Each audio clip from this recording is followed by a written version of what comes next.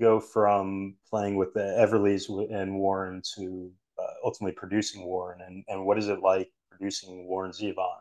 Sounds like a uh, I love his music and his perspective and his point of view, and if that's how he is or was in person, that must have been a, a, a wild experience. It was wild, yeah. yeah. And he was, you know, that was the period where Warren was uh, very alcoholic, so it was a very uh, tough period.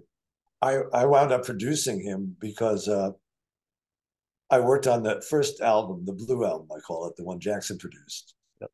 And I went to England with Linda. I think it was with Linda. I didn't meet him to someone else, but I came uh, when I was there.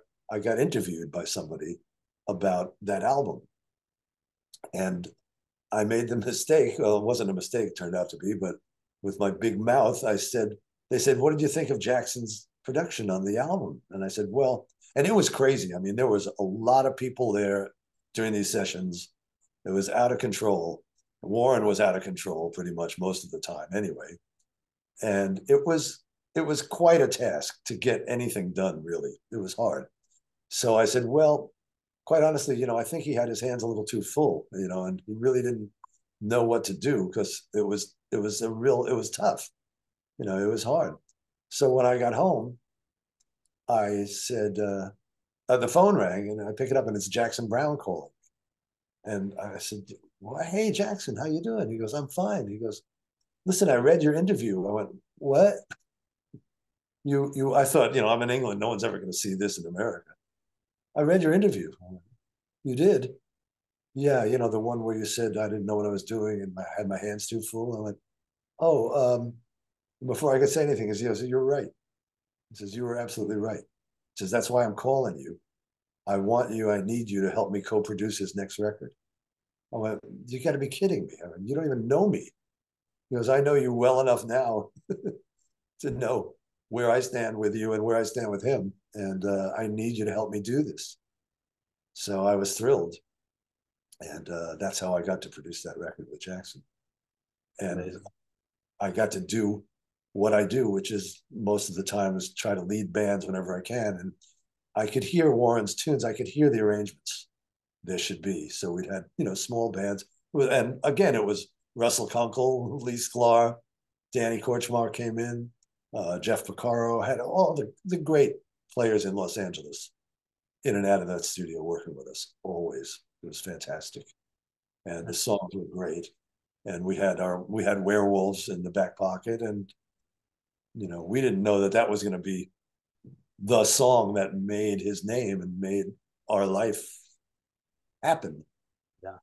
Composition wise, had no idea. We thought no one's going to like this one. That's what we thought. when the record company picked Werewolves to be the single, we were aghast. Warren and I, we just went, "You got to be kidding me!" Of all the songs on this record, that's what they want to go with. We're thinking we were so wrong, and happily so so incorrect in our judgment. Iconic.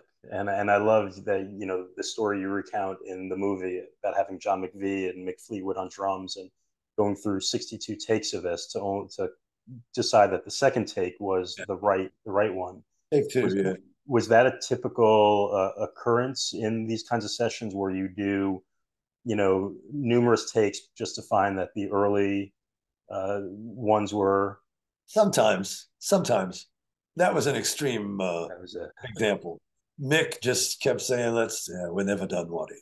Let's keep going." going. But but you know, after we did take two, Jackson said that was pretty good. You want to hear it? And Mick goes, "Nah, let's keep going, keep going."